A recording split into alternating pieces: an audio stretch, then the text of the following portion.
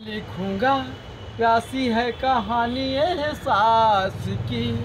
मिलना हो तो ऐसे हो, सदियों तक ना दूरी हो। तेरे नाम का किया सिंगार, ओ दिलदार। ओढ़नी, ओढ़ के नाचू, ओढ़नी।